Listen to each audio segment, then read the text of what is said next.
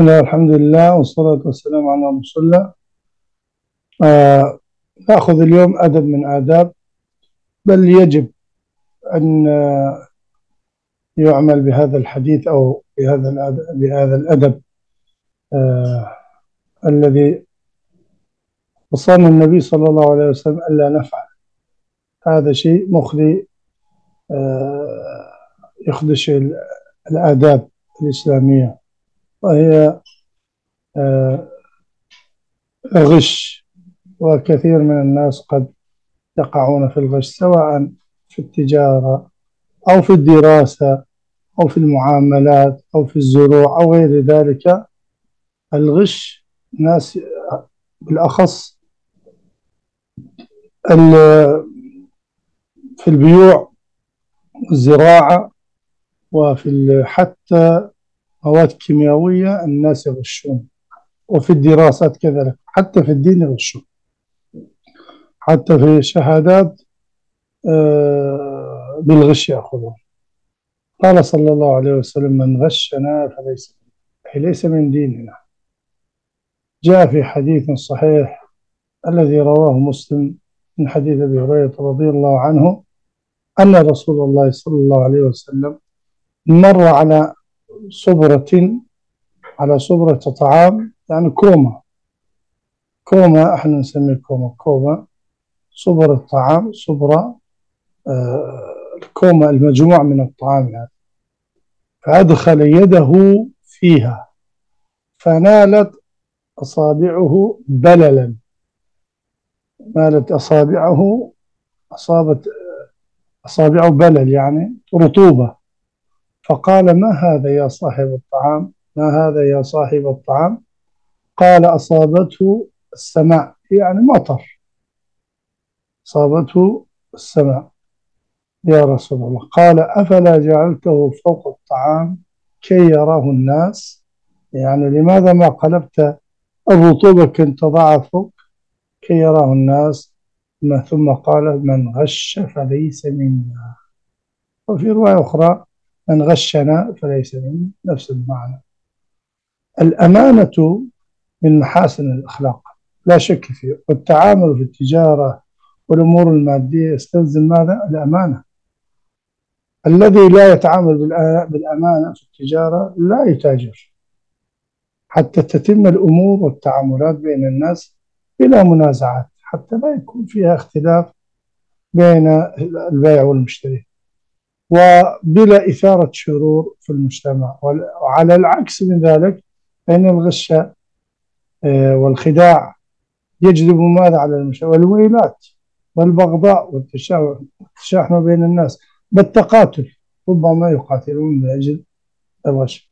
هذا الحديث آه، يوضح لنا أن الغش ليس من الإسلام وأن الغش على خطر وأن الغشاش على خطر عظيم.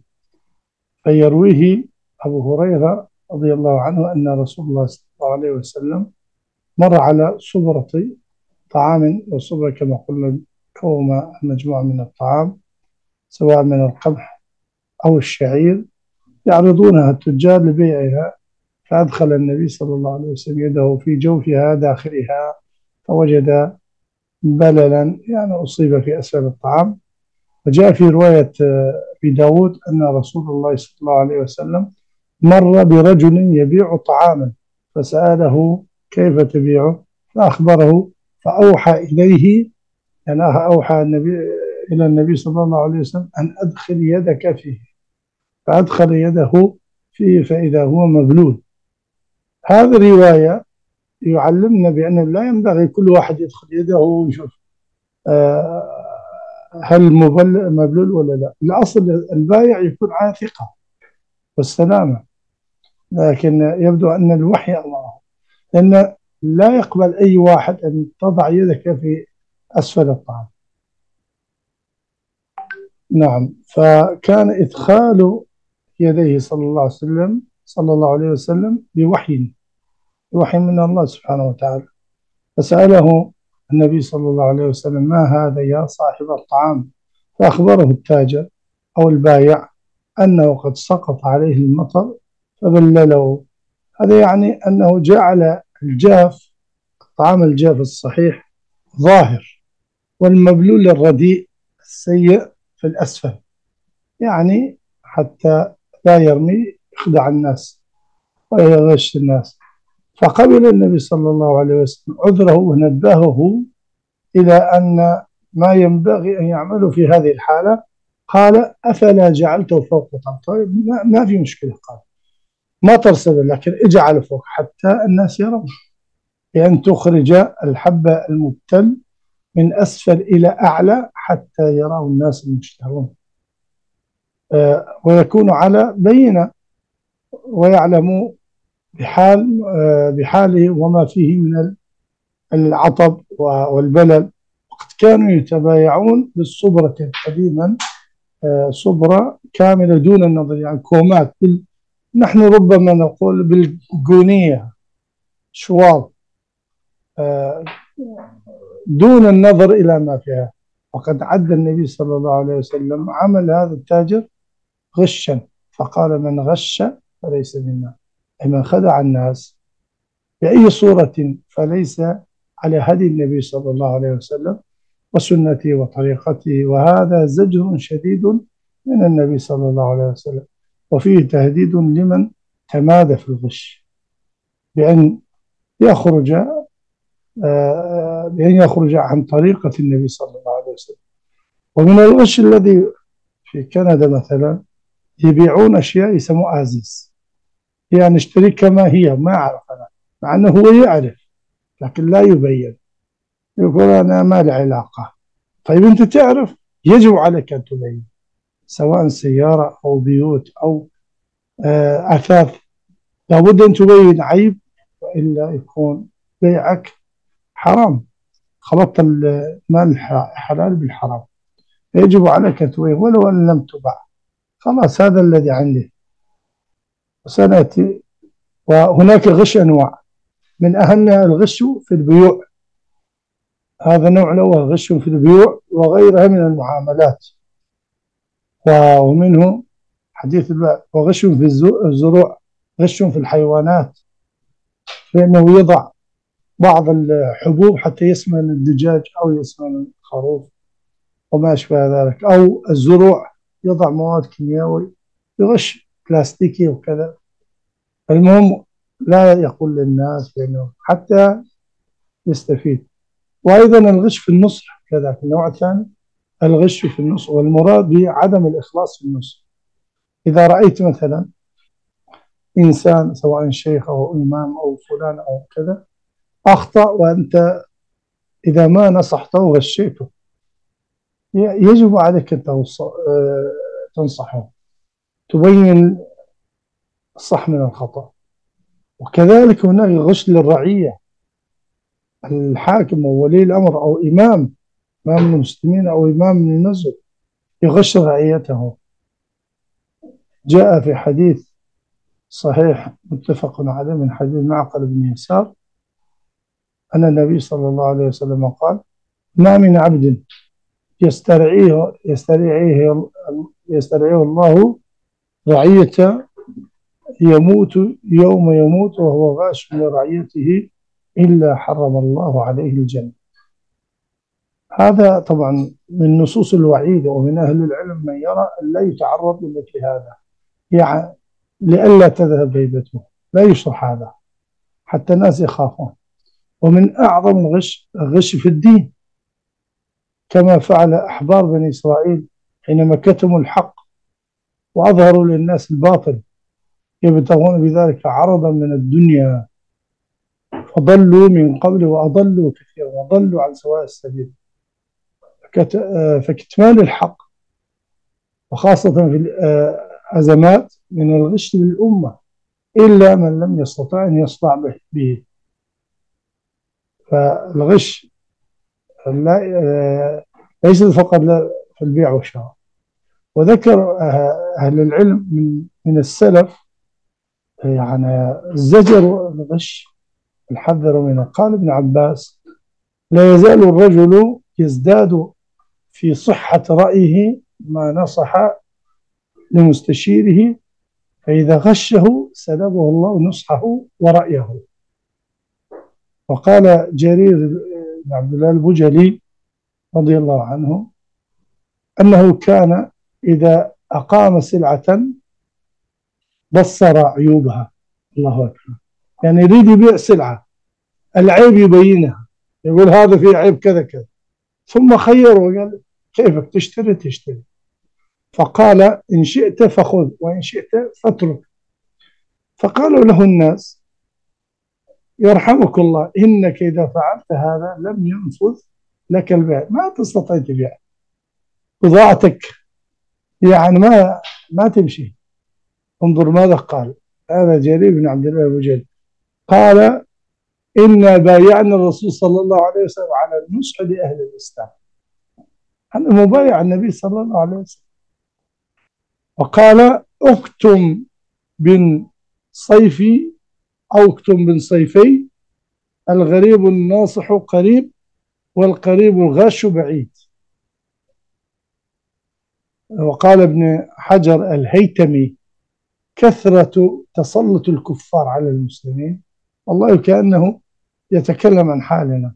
كثرة تسلط الكفار على المسلمين بأسر ونهب وأخذ الأموال والحريم.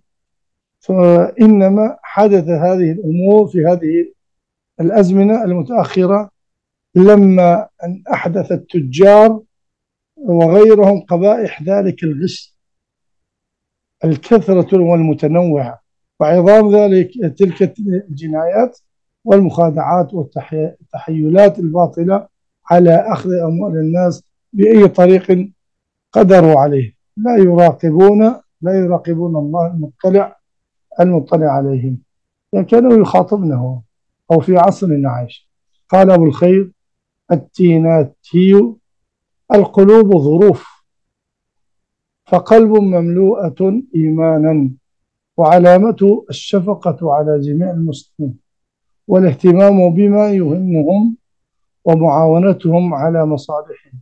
وقلب مملوء نفاقا. طيب علامته إيش؟ الحقد والغل والغش والحسد. إذا من النفاق. قال مبارك بن حماد قال مبارك أبو حماد سمعت سفيان الثوري يقول فيما أوصى به علي بن الحسن السلمي.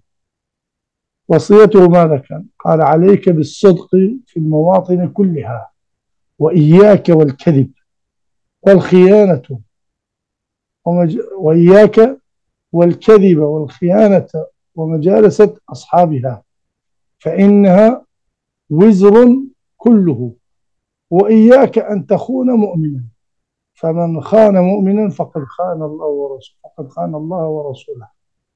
وكن ظاهر القلب نقي الجسد من الذنوب والخطايا نقي اليدين من المظالم سليم القلب من الغش والمكر والخيانة. خالي البطن من الحرام فإنه لا يدخل الجنة لحم نبت من سحت من حرام هذه وصايا مهمة جدا ينبغي أن نأخذها بعين الاعتبار. قال عبد الله ابن الحسن لابنه احذر مشورة الجاهل. احذر مشورة يعني لا تشاور جاهل وإن كان ناصحا. لأنه جاهل كيف يكون ناصحا ما يعرف كتاب الله وسنة النبي صلى الله عليه وسلم. كما تحذر مشورة العاقل إذا كان غاشا.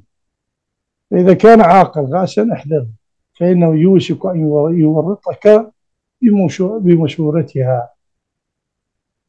فيسبق إليك مكر العاقل وتوريط الجهل. فقال سرير السقط خير الرزق ما سلم من خمسة. أفضل الرزق ما سلم من خمسة. من إيش؟ من الآثام في اكتساب. والمذلة في الخضوع في السؤال.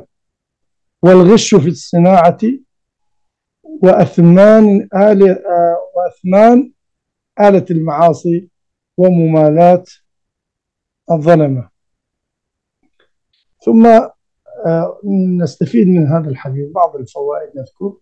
الفائدة الأولى في هذا الحديث حديث الباب آه، دلالة على تحريم الغش وأنه من أكا من آه من كبائر الذنوب. لقول النبي صلى الله عليه وسلم من غش فليس منا.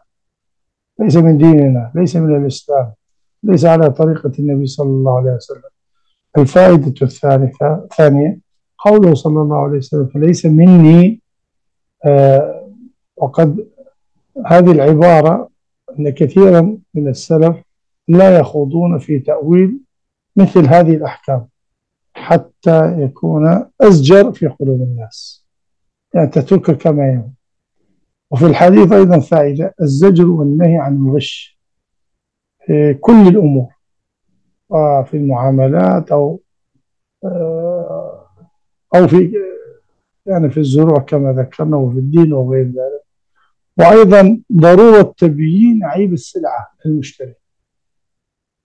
يجب أن يبين عيب السلعة. وأيضا يستفاد من هذا الحديث أن الحاكم يستظهر أحوال الناس كما استظهر النبي صلى الله عليه وسلم حال آه هذا الرجل البايع وينصح من يحتاج للنصيحة. وأيضا يستفاد حرص الشريعة على إبعاد كل ما يحصل به الضرر لمسلم سواء في دينه أو دنياه سواء في دينه أو دنياه. نسأل الله أن يغفر لنا ولكم ويرزقنا وإياكم الصدق والإخلاص في القول والعمل. ويباعدنا وإياكم من الحرام والغش وما لا يرضى به من الأقوال والأفعال الظاهرة والباطنة وصلى الله وسلم وبارك على نبينا محمد وعلى آله وصحبه